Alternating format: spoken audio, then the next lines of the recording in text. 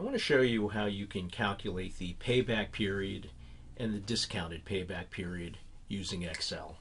So just as a quick recap, the payback period is how long it takes to recoup your initial investment. So it's it's got some flaws, but one thing that's really good about the payback period is that it it's easy to understand. Okay, it's really simple and makes for actually a good secondary method for capital budgeting.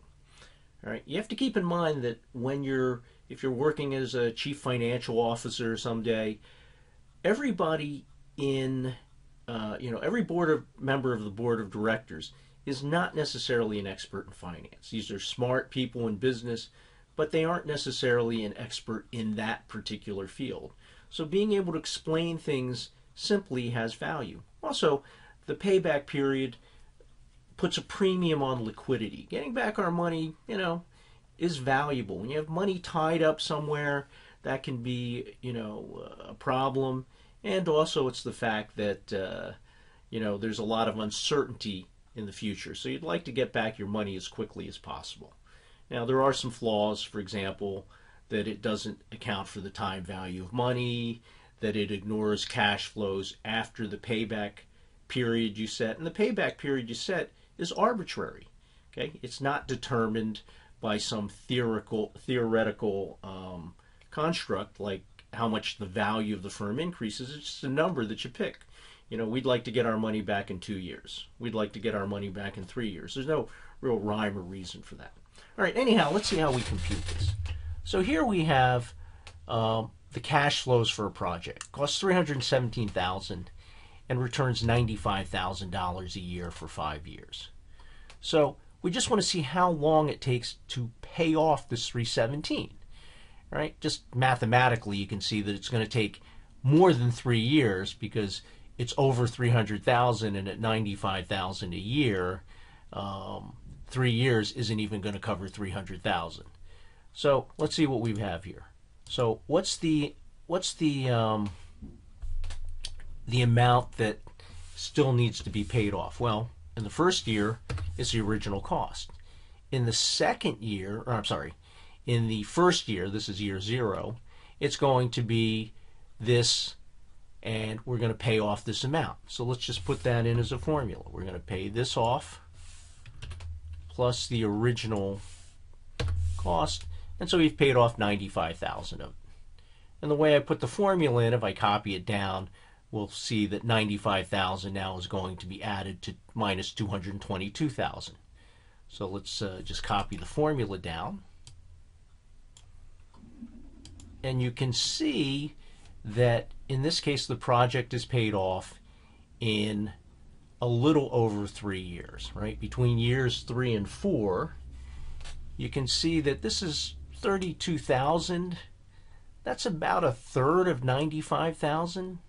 So it's going to be about three and a third years, roughly, okay, which would be three years and four months. How do we figure it out exactly? It's going to be equal to 3 plus, I want to make this negative because I want this to be a positive number, the amount we have to pay off divided by the amount of the cash flow in the next period. So what fraction of of next year's cash flows do we need to pay off? If it was 47,500, it would be half a year, right? It's less than that. So what do we get? We get 3.34 years. So about three and a third years or three years and four months. In this special case where we have all the same cash flows, you can also compute it by simply taking the, again, we want a positive number, so I'm going to make this a negative.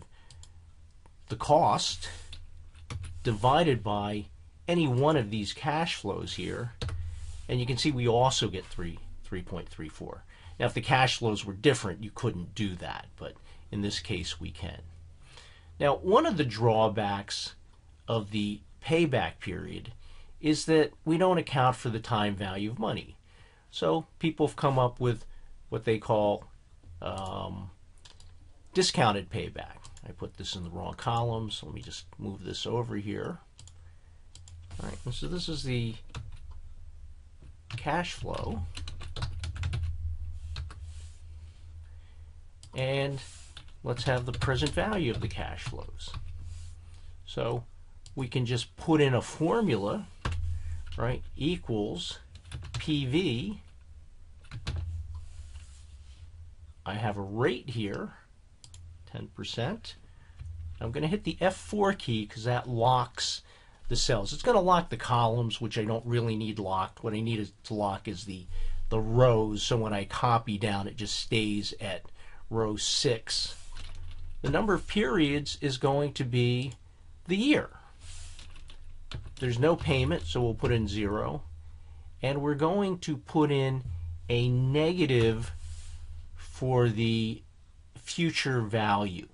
And the reason we do that is if you've used Excel before, if you put in a positive number for the future value, it's going to give you a negative present value.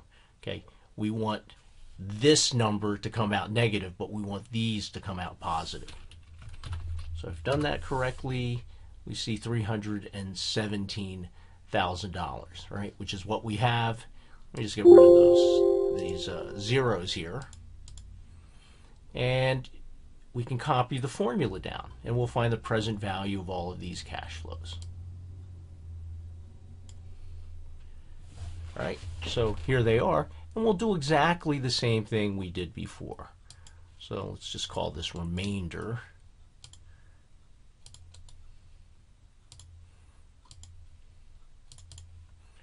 And we're going to have same formulas we had before. We'll start with the original cost, and then we'll take this plus this right? So if you paid off 86,000 in the first year, you have this much left to pay off. If we copy this down, we see it now takes longer to pay this off because these aren't all 95,000. You're taking the present value of it. They're smaller cash flows. So it's going to take more than four years to pay it off. So you can see that it's four years and then 15,000, a little almost 16,000 as a fraction of a little less than 60,000. So it's going to be, you know, maybe a third, a little less than a third of a year. So it's going to be 4.3, 4.2 years. Let's do the calculation. Equals 4, we know it takes a full 4 years, plus, again, I'm going to make this a negative because I want this to be a positive number.